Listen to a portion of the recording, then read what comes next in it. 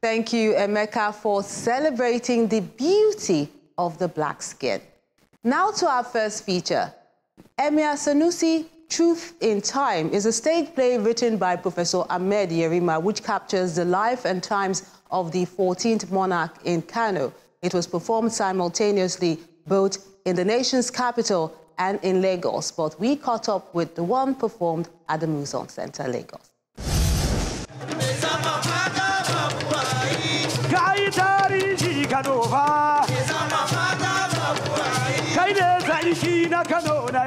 The hall at the Muson Center, Lagos is packed with a mix of the young and old, anxious to get a feel of the intrigues behind Emir Sanusi, Truth in Time, which is a slice of what happened before the dethronement of the 14th Emir of Kano, Muhammadu Sanusi II, on March the 9th, 2020.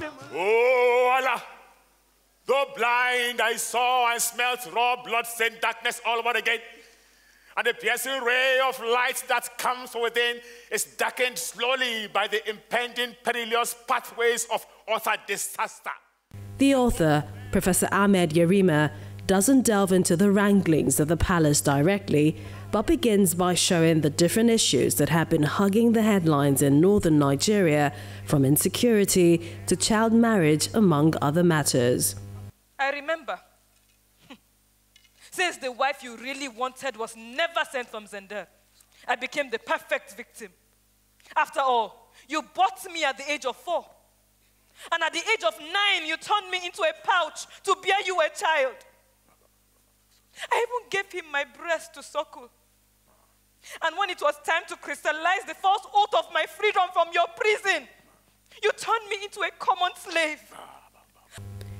The story is told from the perspective of a retired palace guard, Dalihu, who has a frosty relationship with his wife. Wallahi, Narense, you Dahiru Mohammed, you know me. When I promise, I keep it. And when I speak, Allah listens. You have abused the very bit of my womb. A thousand curses on your damn soul. Zainab, Zainab, Haba, for the sake of your son. Son? But the arrival of their son, Shuaibu, a palace guard who had served the deposed emir of Kano, is welcomed with excitement as he narrates what transpired. Tell me, son! Tell me! What happened to Emir? They killed him? No, may Allah forbid. Dead? Azami? Did they strangle him in his sleep? No. Did policemen come with guns and lead him away? Yes, under the cover of smoke. Did you hear gunshots? We had it here too. Yes, Baba. I was there, while I, but. Ah, they, they have killed him. that is why you hesitate. Ah, my AK 41 yelling. Abba! Why, Allah, why? they have killed another son of Fodio. May Allah kill them all. Baba, Baba. the emir is well, huh? but they have taken him out of town. He has been removed, but we have a new emir now. La, la, la, la. Who? Aminu Ado Bayero. Aminu? The emir of Bichi, who is now the new emir of Kano. So fast? They don't want a vacuum. But so fast as if, well, Allah must have given a nod to this. May reign long on the throne. Amen. So, who had a hand in this? Who did the devil, the devil use this time? Nobody. Nobody. But everyone had a fingertip ah. soiled with red palm oil. Ah. It was all so fuzzy. They shifted all their personal guilt on Allah. Ah. Even I considered myself the biggest fake. I had failed the man I had sworn to protect with my life. We had to face our displacement. All the same, we were welcomed. So, what happened?